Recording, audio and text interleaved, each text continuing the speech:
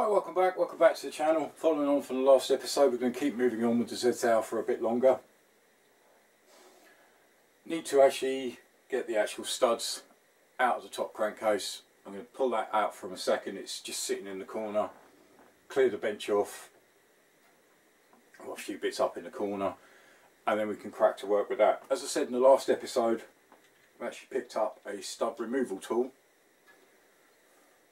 so we're going to have a look at that, see how it works, see if it's any good.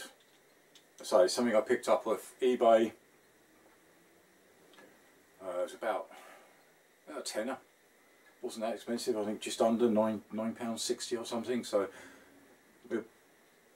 at the moment it looks sort of kind of well, not quite sure, but I've done a little bit of research. I've seen a few people use them, not very many. So I'll probably do a practice run first off camera just try it and see how it goes. And then uh, we'll crack in and get all them studs out. So that's enough chat. Let's crack on. Got the top crankcase up. So next job is I need to take all these studs out because obviously I'm going to go for uprated studs. Heavy duty. My main concern was like a lot of people, how do I get these out? I've had a look on on YouTube, gone through various, and there seems to be many, many different ways. There's the double nut version,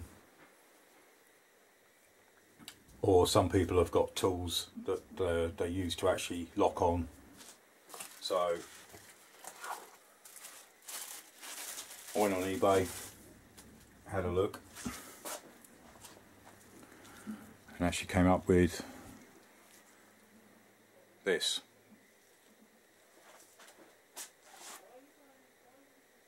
stud remover and installer. Uses a ratchet. Varying size, different holes. So obviously I just need smaller version so we'll do bigger studs. Obviously before filming I did do a test run. I wanted to make sure that I could actually use the tool how it worked. And that one's in there loose.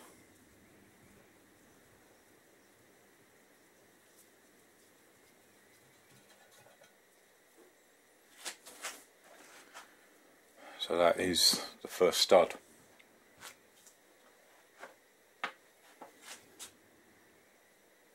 so it'll make life a lot easier.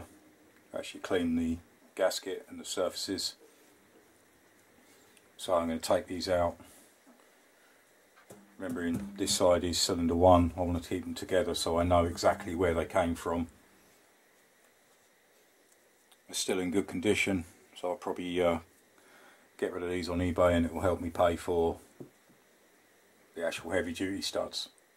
So let's click on to this one we'll see how this tool does. As I say, I've done one, it seemed to be alright, but I need to show you how this works. Alright, so I'm actually going to tack this one next, do the back section, and we'll move on to the front section. So using the small hole,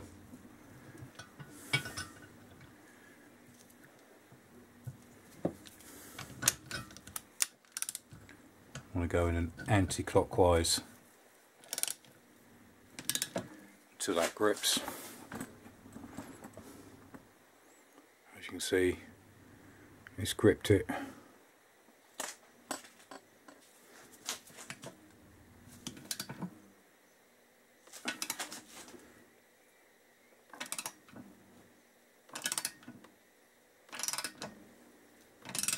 And there we go, start to turn.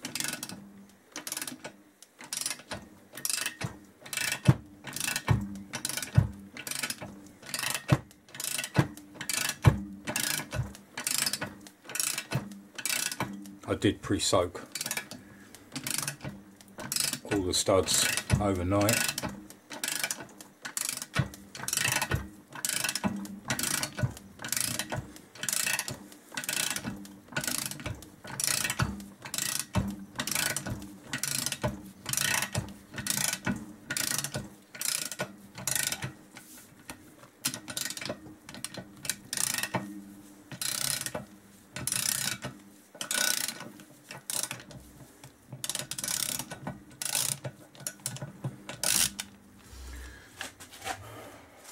and there we go. That's another stud out of the way.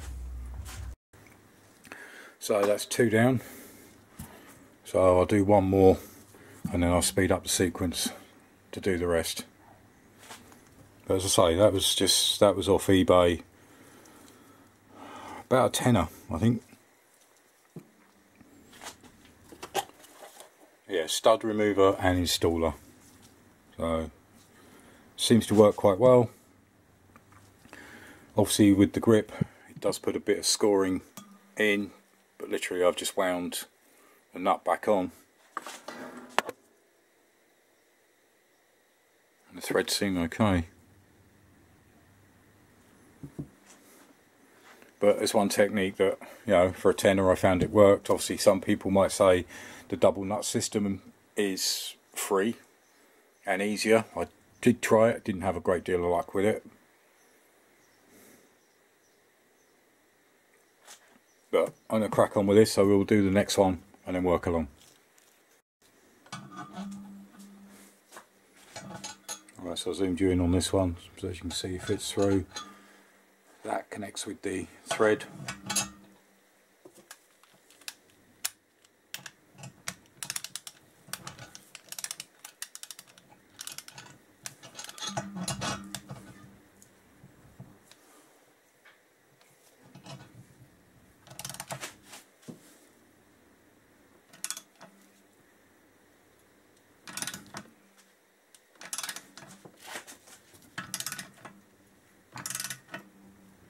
clockwise.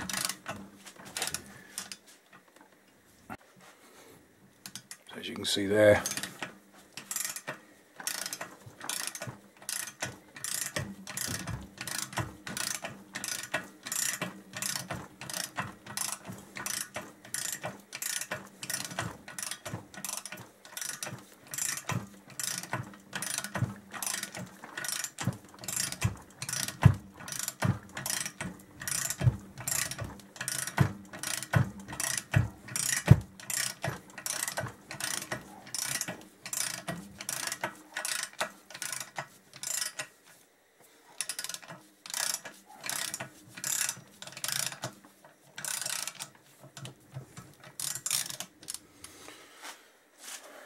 There we go.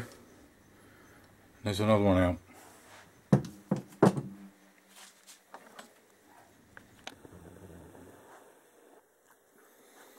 So that's three done. So I'm going to work through the next nine and get them all out and then lay them out.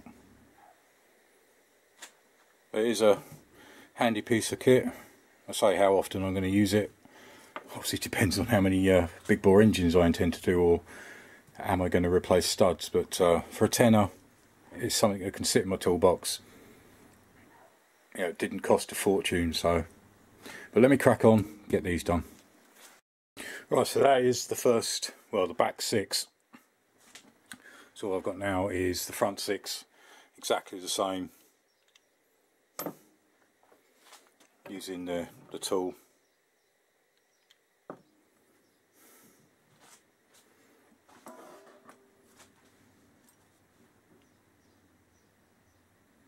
they've actually come out okay so.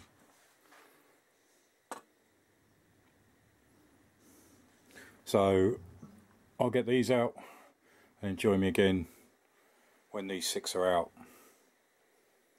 And then it's a case of stripping down rubbing down preparing all these surfaces. Right just on the last one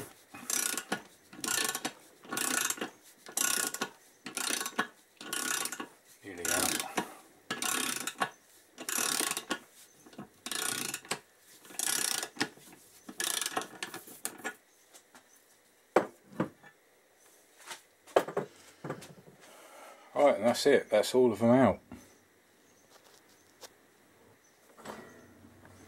So now it gives me a lot better access to get the gasket. Need to check out the guide as well. That needs to come out. Because I'm sure of whether some of the shards that were in the bottom of the engine are actually from the guides.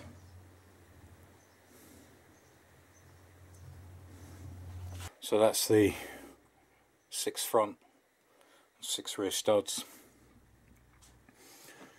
Again, that was the actual tool.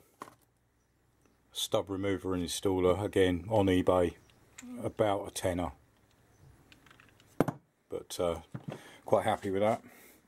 So next job is, again, similar to the bottom crankcase. It'll be a case of cleaning all these surfaces off probably run some of this through the parts washer, get a brush in there, get some paint stripper on some of it and try removing all this grime and clean up all the surfaces. So I'll hopefully get that done by the next episode.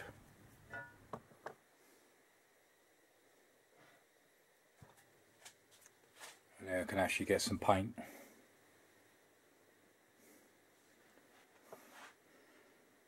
Get some paint on it and uh, then we won't be far off starting to rebuild. Obviously I'm still waiting for some of the gaskets so there will be a delay on some of it but uh, as I say we can jump between bikes and I'll revisit Z engine obviously when the parts come and then we can do a bit more. So hopefully it'll come out with that good gloss finish. And all the surfaces nicely cleaned. I'll give the inside a good clean out as I did last time but yeah there's lots of uh, surfaces to clean up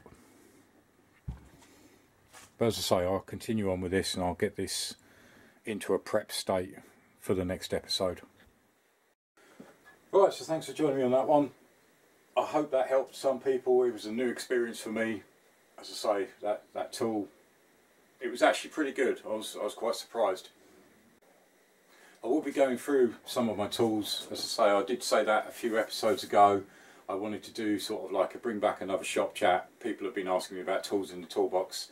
So that'll be the episode after next. Next episode, we're going to continue on with the top crankcase, get it stripped down and get some paint on it, get all the surfaces cleaned up. I say with the studs that have come out, they're actually still in quite good condition. I've labelled them up, fronts and rears. I may just give them a clean up and probably stick them on eBay. I don't need them, so anybody interested, Z1000J2 uh, cylinder studs.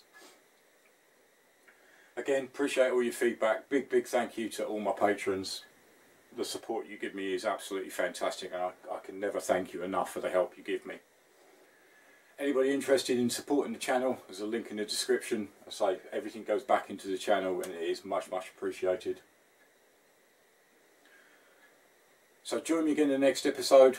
Thanks for watching. Cheers. Bye.